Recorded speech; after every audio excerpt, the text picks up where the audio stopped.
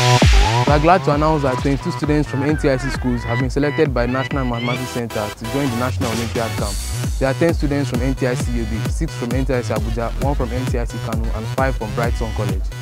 We also like to thank the NMC coordinator for the opportunities they give us and also like to thank NTIC for mentoring and preparing us in the team. The NTIC, we are champions.